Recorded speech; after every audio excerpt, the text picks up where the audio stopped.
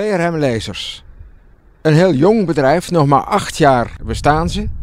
Ben benieuwd hoe ze ontstaan zijn. Maar in die acht jaar hebben ze het voor elkaar gekregen dat ze al lasermachines exporteren naar heel Europa en zelfs de hele wereld. Hoe krijgen ze dat voor elkaar? Is daar een succesformule voor? Eh, of is het een kwestie van geluk, het gat in de markt, bloed, zweet en tranen? Ik zou het niet weten.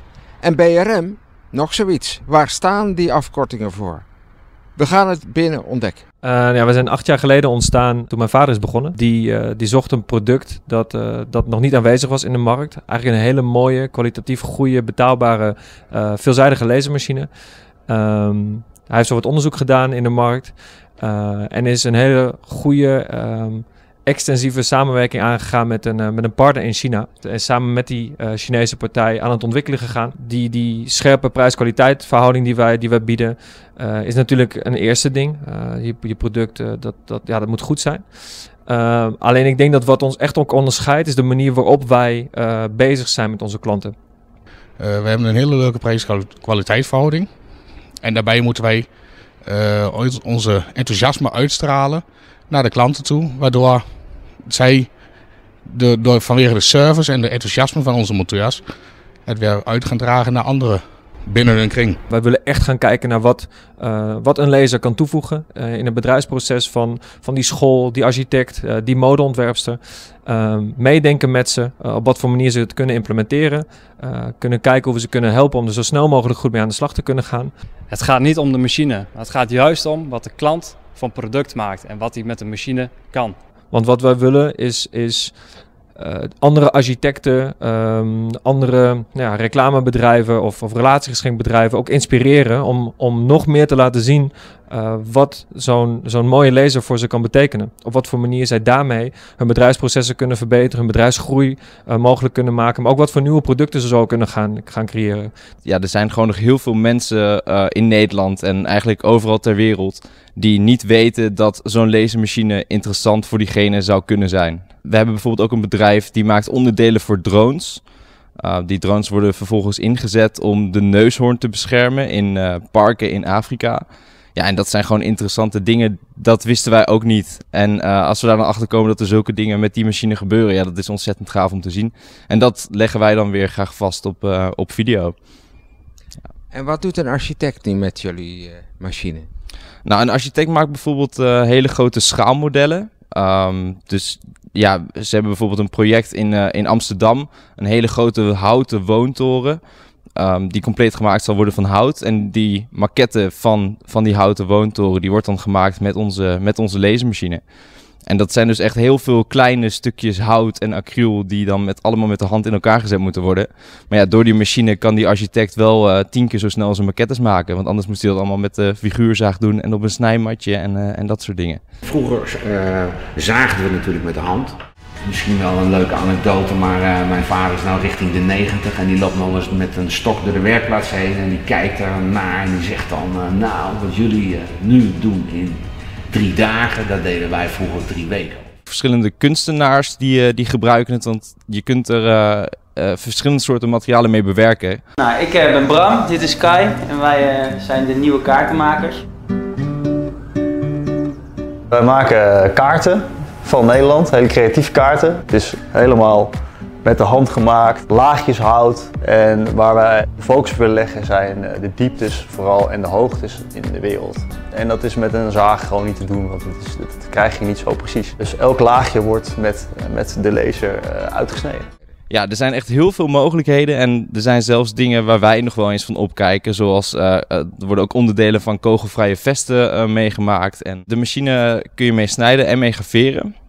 En dus op heel veel verschillende soorten materialen. We hebben hier onze eigen studio en hier maken we dus eigenlijk video's van verschillende materialen. Dus we leggen er soms een spijkerbroek onder om eens te kijken hoe dat gaat. leer, um, acryl, hout. dat willen we allemaal vastleggen op beeld om mensen te laten zien van kijk...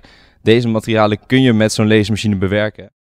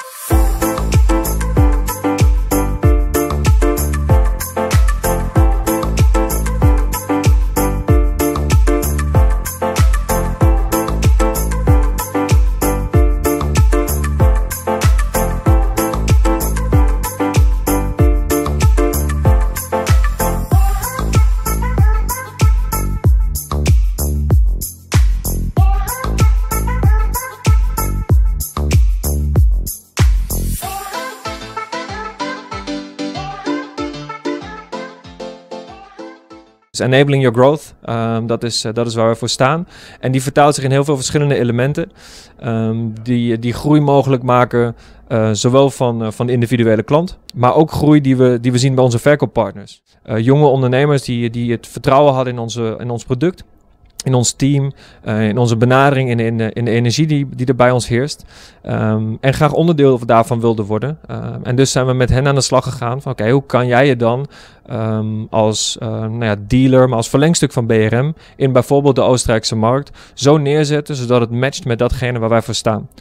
En de laatste en zeker niet de, niet de, niet de minst belangrijke, is de groei hier intern van, uh, van Team BRM, van mijn uh, BRM'ers, zeg maar. We hebben heel veel talent, uh, waar we gewoon simpelweg aan het kijken zijn naar waar wil je naartoe groeien, um, waar ligt je potentieel uh, en op wat voor manier kunnen we er samen voor gaan zorgen dat je die stappen kan gaan maken, zodat je steeds meer verantwoordelijkheden krijgt, steeds meer dingen zelfstandig kan gaan doen, je eigen beslissingen mag gaan maken en dus je groei kan, kan stimuleren hier, hier binnen BRM. Heb jij het idee dat je veel vrijheid krijgt?